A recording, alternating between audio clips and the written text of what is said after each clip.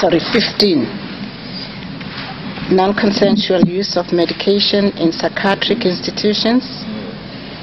We are told in U.S. government replies that the U.S. Constitution constrains government's use of non-consensual medical treatment and clinical investigations. These, are, these practices are permitted only in carefully controlled situations, and there are also constitutional safeguards such as the federal protection and advocacy for persons with mental illness program. And there are also regulations on the use of uh, restraint on uh, mental uh, men uh, on patients in mental institutions. Um, on the other hand, information from non-governmental sources provides ample evidence that state and local governments mm. routinely apply and allow the administration of neuroleptic drugs and electroshock treatment without patients' informed consent and against their will. The use of these drugs is not limited to psychiatric institutions, but is allowed in nursing homes for older persons, especially those diagnosed with dementia and for people in situations of particular vulnerability, such as children in foster care homes and prison inmates. New York law, for example, permits compulsory treatment of persons confined against their will, and the criteria being used is that the, it has to be shown that the individual concerned lacks the capacity to make a reasoned decision. New York law also allows for forced drugging in prison and even after release from prison. Now, scientific and scientific research and subjective reports reveal that neuroleptic drugs have serious side effects. They are mind altering, they cause trembling, shivering, contractions, and all kinds of uh, physical uh, other side effects. And on this matter, the Special Rapporteur on Torture recently called for an absolute ban on all forced and non-consensual medical interventions against people with disabilities, including the non-consensual administration of psychosurgery, electroshock, and mind-altering drugs such as neuroleptics, the use of restraint and solitary confinement for both long and short-term application. Furthermore, the U.S. National Council on Disability, an independent federal agency mandated to make recommendations to the President and Congress on disability issues, has recommended that laws that allow the use of involuntary treatment such as forced drugging and inpatient and outpatient commitment should be viewed as inherently suspect because they are incompatible with the principle of self-determination. Public policy, the recommendation goes on to say, needs to move in the direction of a totally voluntary, community-based mental health system that safeguards human dignity and respects individual autonomy. Against this background, I just want to raise a few questions.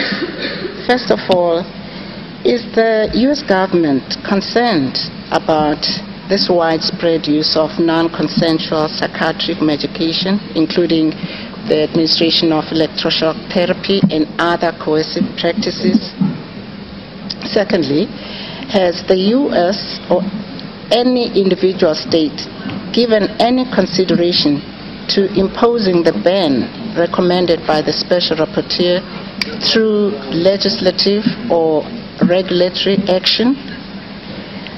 Thirdly, what steps are being taken to reform criminal law and procedure, policies and practices of uh, correctional institutions to prevent discrimination against people labeled with psychiatric disabilities, including drugging, in prisons, forced drugging in prisons as a condition for release.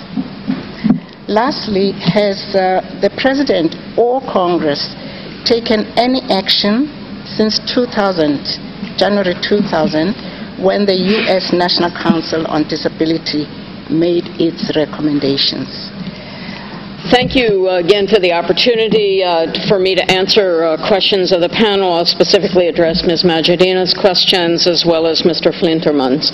And uh, with regard to non-consensual medical treatment, although uh, the U.S. federal law prohibits non-consensual medical treatment, although medication can be provided without consent under life-threatening situations, the specific rules for non-consensual use of medication are largely governed by state law, which cannot violate U.S. and state constitutional provisions on the due process, liberty, equal protection, and privacy of individuals. Professional medical organizations may also have relevant guidelines governing the practice.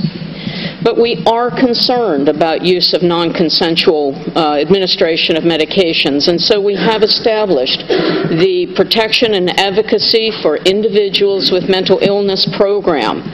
This program operates in all 50 states, the District of Columbia, five territories, and in a consolidated American Indian serving organization.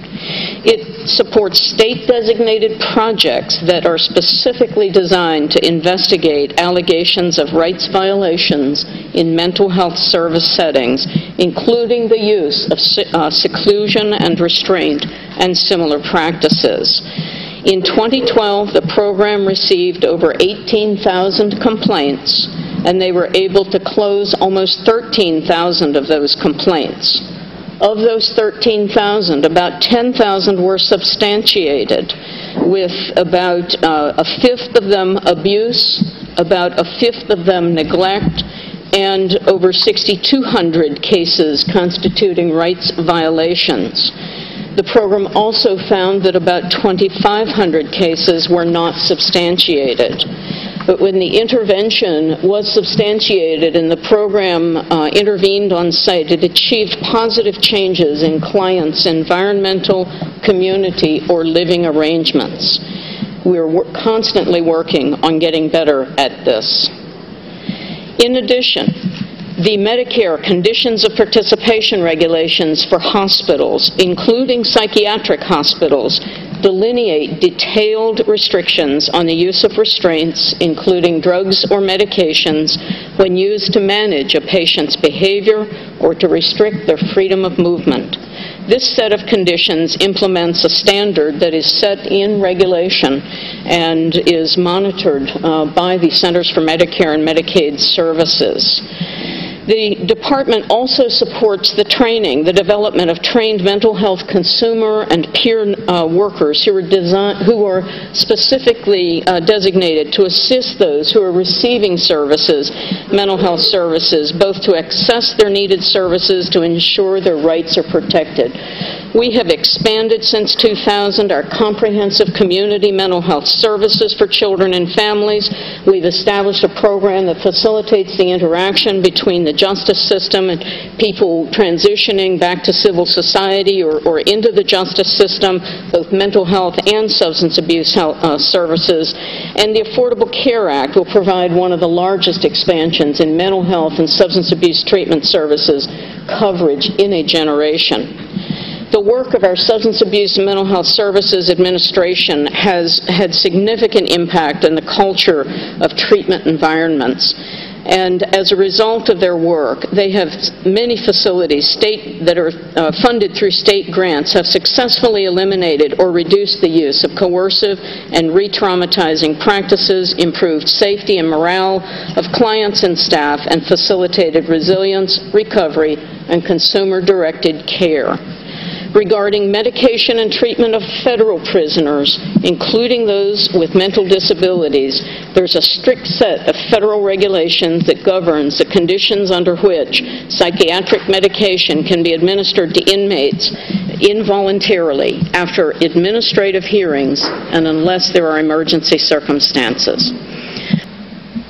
And then on uh, non-consensual medical treatment, again, uh, I understand that there are specific rules and welcome all the measures that government has taken to monitor what happens at state level. But I'm still uh, surprised that states have been left to devise their own rules. And so uh, I'm wondering whether uh, any states have considered the ban that was recommended by the Special Rapporteur on Torture. This ban, I think, was in a statement of the Special Rapporteur in February last year, and it's available on, um, on the UN website uh, documents. So, given that it's really at state level that uh, there's no compliance with the requirement to um, prohibit coercive treatments, especially in mental health settings. I think the matter cannot just be left there. There should be some form of good faith undertakings by, by, by federal government to ensure that this, these recommendations coming from UN bodies are taken seriously, especially at state level.